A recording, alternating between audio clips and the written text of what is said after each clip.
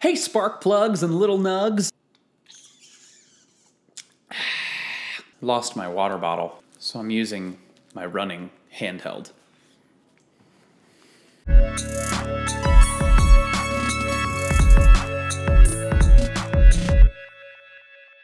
Hey everybody, my name is Jon and welcome to ADITW, a day in the Word, the internet's favorite Bible study. Today we are doing something that we haven't really done before on this show. This is really brand new, sort of. Look at us. Who says you can't teach an old dog new tricks? Hmm. Today on ADITW, we are starting a brand new series that we are calling How to Bible. For those of you who are normal viewers of this show, you know that we go week by week tackling and going through one chapter of scripture at a time. But I realized that maybe we missed something. Because the more I talk to people about the Bible, and even people who have been Christians for a really long time, most Christians actually aren't really sure how to read it. They're intimidated by it, or they get frustrated when yet again they find themselves reading a passage that they just don't understand. And as I was sort of thinking about this, I realized that even for those of us who have grown up in church, we are constantly told, read your Bible, read your Bible. What are you supposed to do? Read your Bible, study your Bible. And we've been told so much the importance of reading this book, and yet it's pretty rare that someone has actually sat us down and taught us how to read this book. And that, in a nutshell, is what this series is about. So, over the next four weeks, I'm gonna be taking you through some basics of how to read this book. And today we're gonna start with the most basic question of what is the Bible? Obviously, if you have been around church and around faith,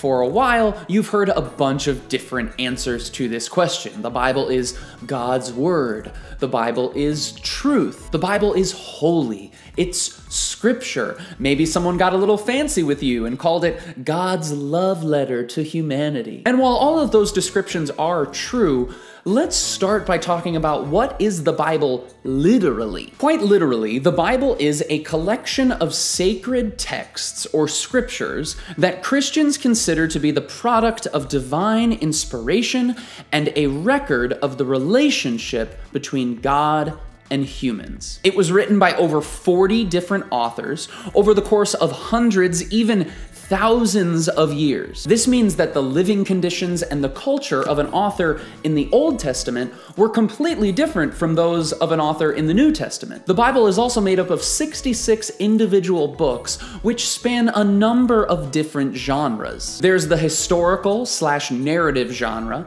This is a description of events or wars or genealogies throughout the history, specifically with the nation of Israel. We find sections of the Bible that are laws or commands, specifically the 613 commands that God gave his people, the Israelites. There is what's considered to be wisdom literature in the Bible. This is collected wisdom from different generations of godly people, teaching us how to live well in a godly world. We also find what's called psalms or poetry throughout the Bible. These poems often act as sort of a diary for the author. These are prayers or even conversations with God. There's a whole section of the Bible devoted to prophecy. These are stories and experiences from both major prophets and minor prophets, people who hear God's word and communicate it to his people. We have apocalyptic literature in the Bible. This is often an author's vision of what the future or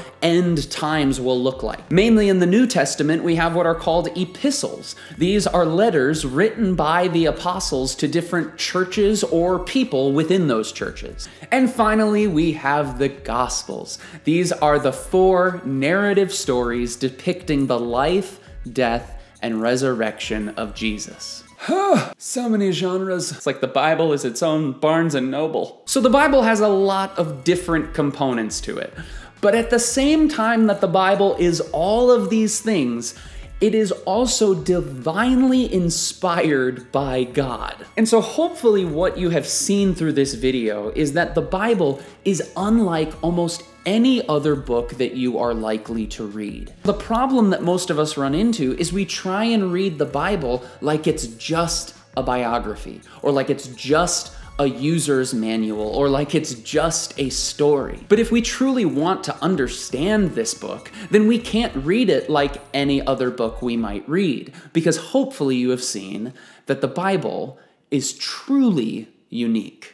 Hey friends, thank you so much for watching this video. I hope it set a foundation for any future Bible study that you do. Before you go, I wanted to give a big thank you and shout out to all of our supporters on Patreon, specifically Tyler Woody, who is a producer of this show, through his generosity on Patreon. For those of you who don't know, you can give as little as a dollar a month, and you can ensure that these videos, these Bible studies, continue to be made. If that is something that you're interested in, if you want to help partner with us in doing this ministry, then please visit the link in the description down below, uh, and you can get hooked up today.